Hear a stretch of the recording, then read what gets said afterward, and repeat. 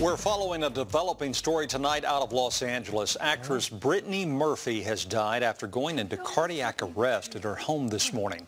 Murphy was rushed to Cedars-Sinai Medical Center where she was pronounced dead on arrival. She had starred in movies Clueless, 8 Mile, and Don't Say a Word. Brittany Murphy was just 32 years old.